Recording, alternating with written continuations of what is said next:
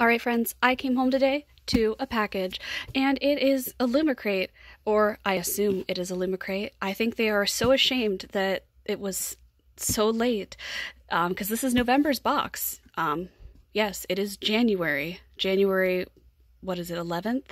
And uh, this is November's box, and there it doesn't say Illumicrate on it, but it is Illumicrate. I checked the shipping label. they had some run-ins and running behind and all that good stuff, but I'm not going to rant too much about it, even though it reminds me of a certain other bookish box thing. Oh, oops, did I say that? Anyway, let's open this up and get right to this. For anyone who doesn't remember, November's theme was some kind of monster. The first item I pulled out was this tea tin. It is inspired by Only a Monster. Um, it has a quote from the book on the bottom, if my camera will focus. There we go.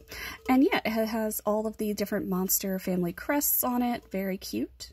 Next up, we have a scarf, and this is based off the Winter Night trilogy. I'm trying to show the entire pattern here, but it's really hard. It is very beautiful. It's kind of like a gray-green with white as the background. Next up, we got a tote bag based on the um, A Deadly Education books. I haven't read those yet, so if those are any good, let me know.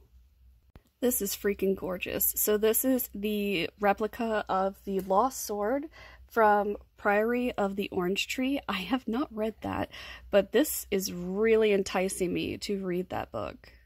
And I think the second one is coming out soon. So here's something a little disappointing. So normally they put them in those yellow drawstring bags, the books for each month. Um, they didn't this month, they just put it in plastic. So let me remove the plastic. So we got the Luminaries, which was a release back in November, so um, a little bit late on that, but obviously you know, it was supposed to be a release back in November. So here is what the cover looks like, and here is what the back looks like.